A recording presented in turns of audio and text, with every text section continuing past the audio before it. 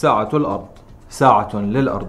نداء لبته الإمارات في معظم مناطقها لا سيما العاصمة. عند الثامنة والنصف مساء السبت الثالث والعشرون من آذار مارس أطفأت أبو ظبي أنوارها لمدة ساعة. احتراما للأرض.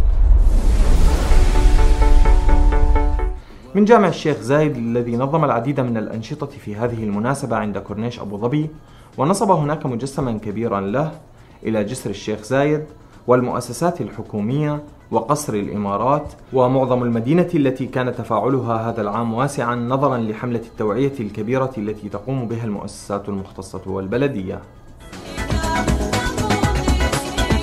دبي أيضا أطفأت أنوارها وبرجها ونظمت مسيرة شموع. من حق الأجيال القادمة أن يرثوا بيئة صحية ونظيفة قال الشيخ محمد بن راشد على صفحته في موقع تويتر.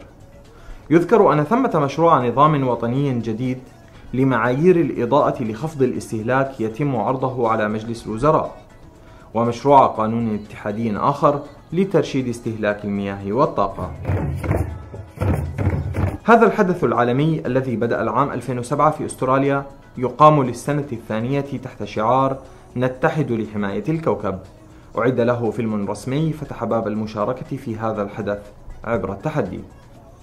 سأقوم بحلق شعري إن شارك ثلاثون ألفا في ساعة الأرض. لن أستخدم هواتفي المتحركة الثلاث لمدة 72 ساعة. 500 أرسلوا بتحدياتهم حسب الفيلم الرسمي. 152 بلدا في سبع قارات أكثر من 7000 مدينة وبلدة. ساعة الأرض لحظة احتفال جماعي في العالم وفي الإمارات.